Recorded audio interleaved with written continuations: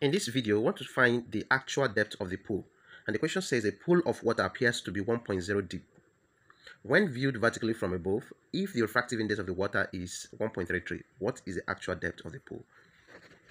Now, the solution to this problem is to state the formula that connects the real image, the apparent depth, and also the refractive index.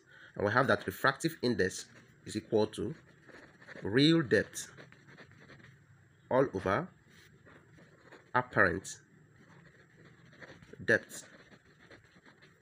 And then from the problem, we have the refractive index to be 1.33 given. And then we also have the real depth not given. And that's what you're asked to, to find, which is the actual depth. That's what essentially you need to find.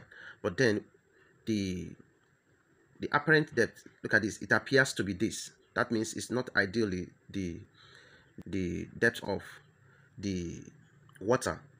So what we need to do at this point is to rewrite this real depth and then drop the value of this apparent depth which is 1.0.